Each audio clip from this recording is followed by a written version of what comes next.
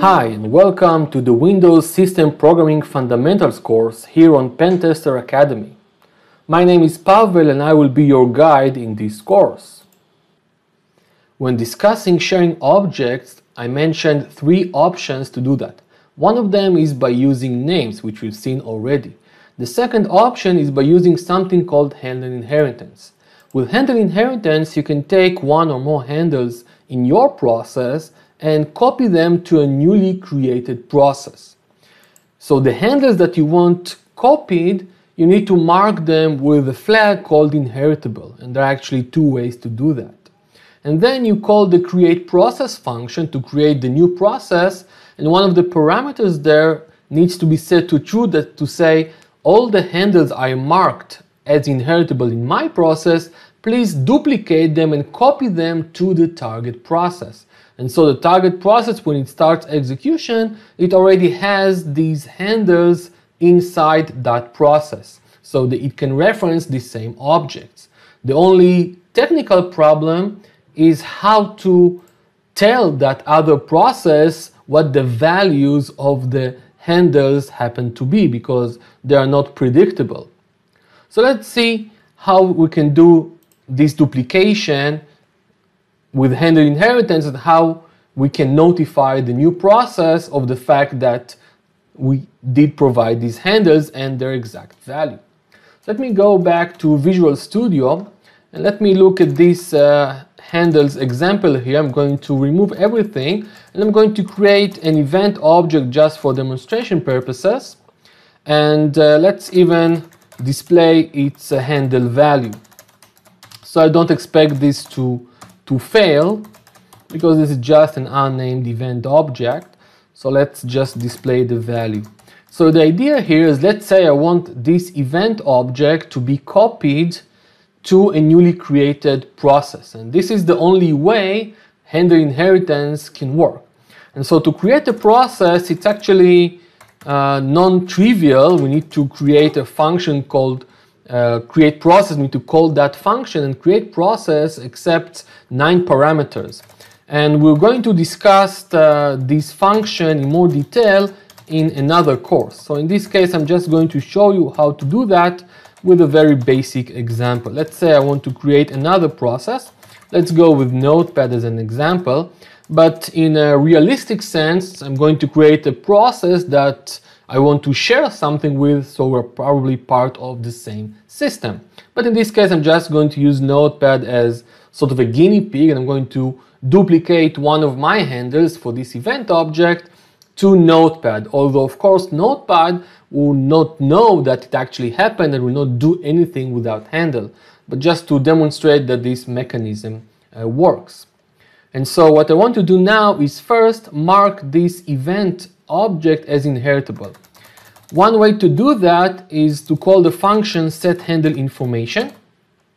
So I'm going to use the event handle here, and then I need to provide some uh, mask, which means which flags I want to change, and then the actual value of this flag or flags. And so in this case, what I need is uh, handle flag inherit, and I want to set that to handle flag inherit because by default handles are not inheritable and so I need to set that to make it inheritable. If I wanted to remove inheritance I would just go ahead and put zero here. So once I do that I'm ready to call the create process function. Now the create process function accepts several parameters. I'm going to walk you through the most important ones. So the second parameter is going to be our command line with the path if we wanted to. And here I'm go going to specify name, which is notepad in this case, and create process in this case will search in system directories and some other locations to locate notepad if I don't provide a full path. So luckily one of the search directories is the system32 directory and so this is where notepad is and will be found.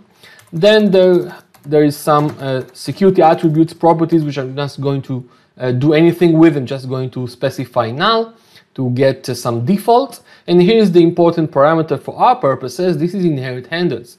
If I specify false, no inheritance takes place and no handles will be inherited by the target process. If I specify true, then all the handles in my process that have been marked inheritable will be inherited.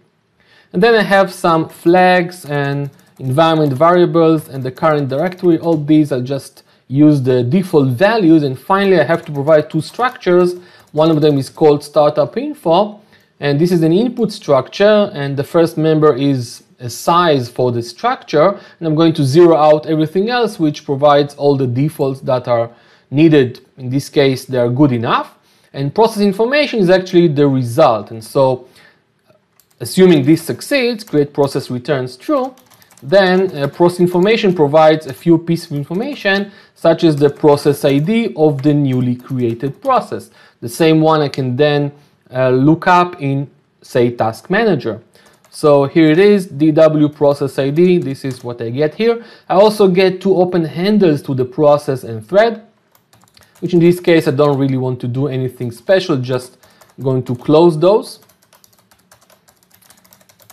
just for completeness sake. And actually I'm done. And so the idea here is that the handle of the event is going to be copied to the target process and the value of the handle is going to be the same as it is in my process. Why? Because the handle table for the newly created process is empty. And so that value is definitely available. And so the values are the same. We'll see in the next example when we look at duplicate handle that the values are not necessarily the same. So let's see if that works. Let me just uh, put a breakpoint here and let's uh, run until this point. So we get to this uh, create process call. The handle to the event is C8.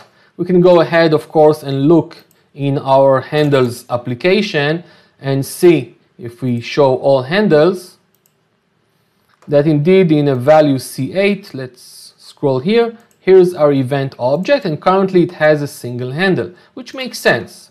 Notepad has not been created yet. And so now let's press F10 to step over and here's Notepad. Note has been created successfully. We can uh, also look at its process ID if we want to, but doesn't really matter. Let's go to Notepad now and we'll notice that in its handle table there's the same handle with the value C8. That's the same value of handle that we got for our own handle to event.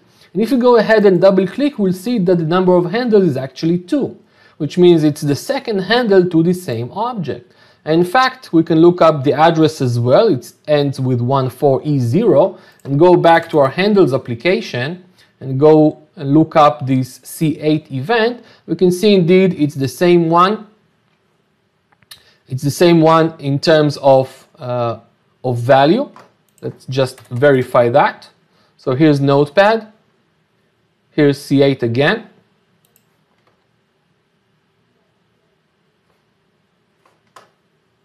Oh, so it's not, not the same one. I'm looking at the wrong notepad. Well, silly me. Apparently I had another notepad open here. So here it is, the same uh, address. I shouldn't be keeping so many notepads alive at the, at the same time. And so if you go ahead and double click, it's again uh, two handles because it is the exact same object. So this is the idea of handle inheritance. It's fairly easy to use, but it is limited to this particular scenario where one process creates another process. If the other process exists already, then this is simply too late and handle inheritance doesn't make sense. The problem is that for the child process, it needs to know what the value of the handle is. And so a common trick that allows us to specify that is just to add it to the command line. So we can simply go ahead and say, well, because we know that this one is going to be using the same handle value that we know that if we get some value here, the same value is going to be valid in the new process once we create it. And so technically, we can go ahead and do something that allows us to, uh, to just provide that through the command line.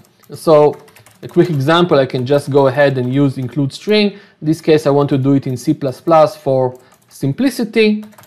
So the object type is wstring, let's call that name. I can go ahead and say that name is going to be notepad and uh, I want to, to give it also the handle value.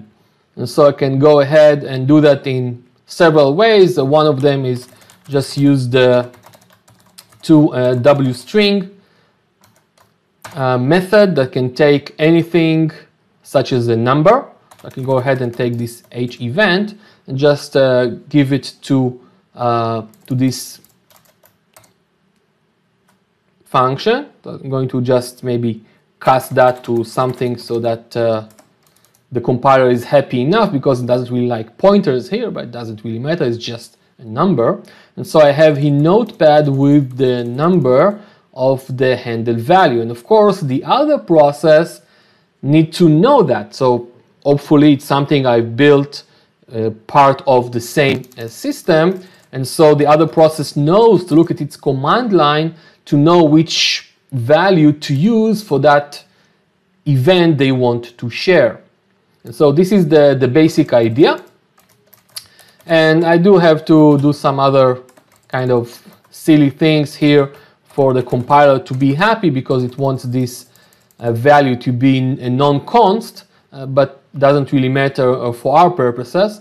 So in this case, of course, it won't be very nice. It won't work properly. In fact, Notepad will interpret that value as uh, a value to, um, to open a file and it will not find that file.